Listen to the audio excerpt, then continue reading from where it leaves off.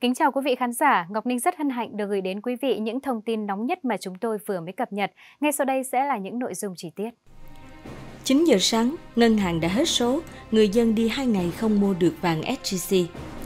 Ghi nhận của phóng viên báo Người Lao động, đến 8-9 giờ sáng ngày 4 tháng 6, nhiều điểm bán vàng của bốn ngân hàng thương mại đã thông báo hết số, hàng trăm người ngao ngán quay về.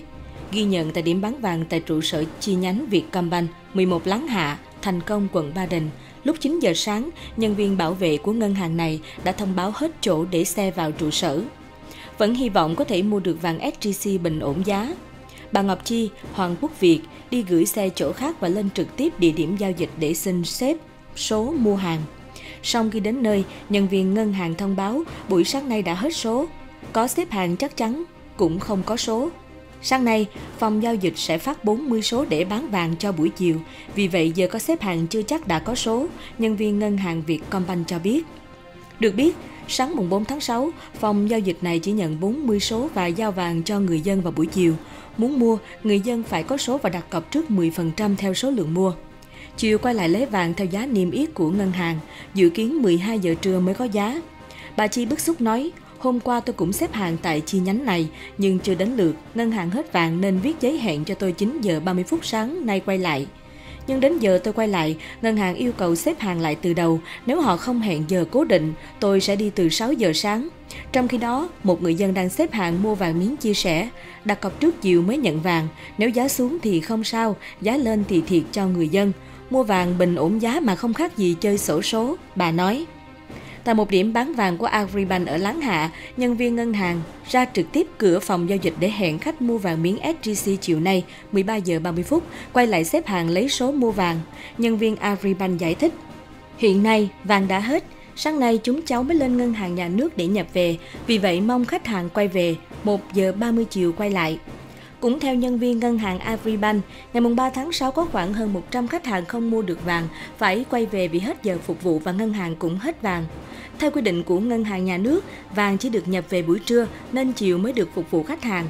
Khảo sát tại các địa điểm bán vàng của các ngân hàng khác cũng cho thấy tình trạng ngân hàng hết số từ sớm. Nhiều khách hàng dù ở ngoại thành Hà Nội vẫn phải ngậm ngùi quay về, một số ít chọn đợi từ sáng tới chiều để mua. Khoảng 10 giờ sáng mùng 4 tháng 6, Ngân hàng Nhà nước công bố giá bán vàng miếng SJC cho 4 ngân hàng thương mại và công ty vàng bạc đá quý Sài Gòn, công ty SJC là 77,98 triệu đồng một lượng, giảm thêm 2 triệu đồng một lượng so với hôm trước.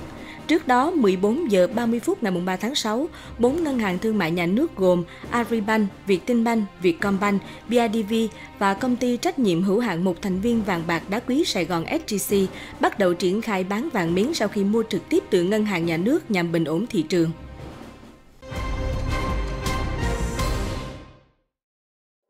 Vàng cháy hàng ngoài sức tưởng tượng của ngân hàng, dân tình lũ lượt đặt cọc để mua.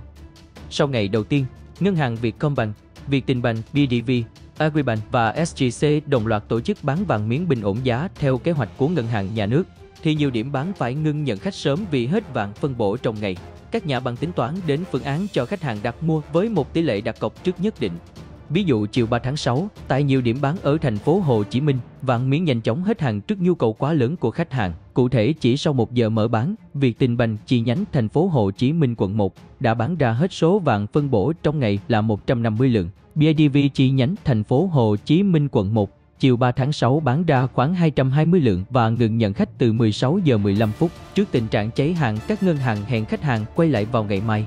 Trụ sở chính của SGC tại thành phố Hồ Chí Minh cũng ngừng nhận khách từ 16 giờ. Ban đầu, mỗi khách được mua tối đa 3 lượng vàng SGC, nhưng đến 15 giờ 30 phút phải giới hạn mỗi khách chỉ được mua 2 lượng vàng. Việc vàng cháy hàng ngoài sức tưởng tượng của ngân hàng dân tình lũ lực đặt cọc để mua là điều dễ hiểu và cũng là giải pháp để ngân hàng đáp ứng hết các nhu cầu. Được biết, khi triển khai bán vàng hàng ngày, mỗi ngân hàng được mua vàng từ ngân hàng nhà nước với hạn mức tối thiểu 200 lượng và tối đa 4.000 lượng. Tuy nhiên, ở ngày đầu tiên các ngân hàng vẫn còn bán theo hướng thăm dò thị trường. Việc thăm dò đã cho kết quả tốt khi vàng cháy hàng ngoài sức tưởng tượng của ngân hàng. Dân tình lũ lượt đặt cọc để mua như một giải pháp ăn chắc để khỏi phải mất còng tay trắng đi về. Theo bà Nguyễn Thị Phượng, Phó Tổng Giám đốc Agribank, lượng khách hàng đến hôm đầu tiên ngân hàng bán vàng cao hơn dự đoán. Do vậy, ngân hàng sẽ bố trí thêm quầy để phục vụ nhu cầu mua vàng của người dân vào ngày tiếp theo. Trao đổi với báo chí, lãnh đạo Vietcombank cho biết sẽ bán vàng miếng theo nhu cầu của khách hàng cá nhân và căn cứ vào số lượng vàng miếng có sẵn trong kho của ngân hàng. Trường hợp cháy hàng ngay thời điểm khách hàng có nhu cầu, Vietcombank sẽ tiếp tục bán khi mua được vàng miếng từ ngân hàng nhà nước trong các phiên mua tiếp theo. Nhiều ngân hàng còn tính đến phương án khách hàng có thể đặt mua bằng cách đặt cọc theo tỷ lệ nhất định để đáp ứng đầy đủ nhu cầu khách hàng. Theo các ngân hàng, Việc đồng loạt cho biết việc bán vàng nhằm thực hiện chủ trương bình ổn thị trường của chính phủ và ngân hàng nhà nước nên không đặt ra mục tiêu lợi nhuận mà sẽ cung ứng với mức giá phù hợp trên cơ sở giá mua từ ngân hàng nhà nước. Việc này sẽ góp phần để sớm hiện thực hóa mục tiêu giảm chênh lệch giữa giá vàng trong nước và thế giới. Sau ngày đầu tiên ngân hàng ngỡ ngàng nhìn vàng cháy hàng thì Vietcombank thông báo hôm nay 4 tháng 6, sau khi hoàn tất các thủ tục mua, giao nhận vàng miếng SJC từ ngân hàng nhà nước và vận chuyển về các kho, ngân hàng sẽ phục vụ khách hàng đến mua vàng từ 13 giờ 30 phút. Trước đó, các ngân hàng đồng loạt thông báo từ ngày 4 tháng 6 sẽ bán vàng vào 9 giờ. Tuy nhiên, Vietcombank cho biết nếu có nhu cầu, khách hàng có thể đến các điểm bán vàng miếng của Vietcombank để thực hiện giao dịch đặt mua vàng miếng từ 9 giờ và sẽ thực hiện giao dịch mua vàng miếng từ 13 giờ 30 phút theo giá bán của Vietcombank tại thời điểm khách hàng thực hiện giao dịch mua vàng miếng. Khi có nhu cầu thực hiện giao dịch đặt mua vàng miếng, khách hàng đặt cọc cho Vietcombank với giá trị tương đương 10% giá trị đặt mua tính theo giá bán vàng miếng tại ngày 3 tháng 6 là 79,98 triệu đồng một lượng. Với số lượng vàng miếng khách hàng đặt mua, Vietcombank lưu ý, khách hàng có thể đặt cọc bằng tiền mặt hoặc tiền chuyển khoản. Trường hợp đã đặt cọc nhưng không đến thanh toán và hoặc thanh toán đầy đủ, khách hàng sẽ không được ngân hàng hoàn trả lại tiền đặt cọc tương ứng với số lượng vàng miếng không mua. Khi đến đặt cọc cũng như khi đến giao dịch mua vàng miếng, khách hàng cần mang theo giấy tờ tùy thân như căn cước công dân hoặc chứng minh nhân dân hoặc hộ chiếu còn hiệu lực. Ngân hàng quyết không mua vàng từ dân dù giá giảm sâu. Bốn ngân hàng quốc doanh Vietcombank, BIDV, Agribank, Vietinbank sẽ bán vàng miếng bình ổn ra thị trường tại một số chi nhánh ở Hà Nội và thành phố Hồ Chí Minh từ chiều mai. Việc mở rộng mạng lưới phân phối tại các tỉnh, thành khác sẽ được triển khai sau. Tuy nhiên, các nhà băng này chỉ bán vàng ra, không thực hiện mua lại từ người dân. Báo Tiền Phong thông tin. Nếu muốn bán vàng, người dân có thể đến các doanh nghiệp kinh doanh vàng như SJC, Doji, BNJ. Cụ thể, bốn ngân hàng quốc doanh sẽ bán vàng miếng SJC từ chiều ngày mùng 3 tháng 6 nhưng sẽ chỉ bán mà không mua lại khi người dân có nhu cầu bán ra hoặc chốt lời.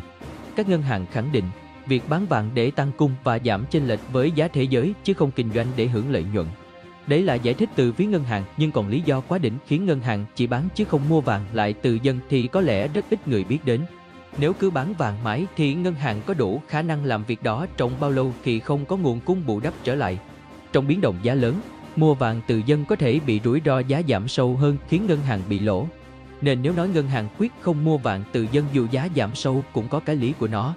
Chuyên gia tài chính Nguyễn Đức Hùng Linh cho hay, ngân hàng nhà nước bán vàng bình ổn thông qua 4 ngân hàng quốc doanh để tăng cung, giảm chênh lệch giá bán trong nước và thế giới. Mục đích chính là bán, không có mục đích mua lại. Ai có nhu cầu mua chính đáng như tích trữ, cho tặng có thể đến các ngân hàng thương mại nhà nước được chỉ định để mua, có thể mua được giá tốt hơn giá bán ở cửa hàng ngoài. Khi giá bán từ ngân hàng thấp hơn, thị trường tự phải giảm giá. Giảm giá chính là bình ổn, mục đích kéo giảm chênh lệch coi như đạt, ông Linh nói. Ông Linh cho biết các ngân hàng thương mại nhà nước mà không mua, người dân có thể bán cho những ai muốn mua hoặc cho các công ty và cửa hàng vàng thông thường. Vàng miếng SJC có lợi thế là được đảm bảo bởi thương hiệu và chất lượng, có thanh khoản tốt nhất thị trường. Nhưng có lẽ từ thói quen từ trước đến giờ, phần nhiều người dân mua vàng ở đâu sẽ bán lại ở đó. Lý giải về việc vì sao ngân hàng thương mại nhà nước chỉ thực hiện bán vàng miếng chứ không mua, bà Nguyễn Thị Phượng, Phó Tổng Giám đốc Agribank cho biết ngay từ đầu ngân hàng nhà nước đã khẳng định việc bán vàng thông qua 4 ngân hàng quốc doanh nhằm mục đích bình ổn thị trường, qua đó kéo giảm chênh lệch giữa vàng miếng SJC và giá vàng thế giới, chứ không phải hoạt động kinh doanh. Với hoạt động kinh doanh sẽ có cả chiều mua và bán, nhưng hoạt động cung ứng cần được hiểu là hoạt động can thiệp một chiều để bình ổn giá vàng trên thị trường. Cần hiểu rõ rằng những địa điểm bán vàng miếng SJC tại Agribank nói riêng và của bốn ngân hàng thương mại nhà nước nói chung chỉ là điểm cung ứng vàng miếng chứ không phải địa điểm kinh doanh mua bán vàng miếng, bà Phượng nhấn mạnh. Đại diện một ngân hàng quốc doanh cho hay, họ dự kiến bán ra thị trường theo mức giá nằm trong biên độ được ngân hàng nhà nước cho phép, chứ ngân hàng quyết không mua vàng từ dân dù giá giảm sâu.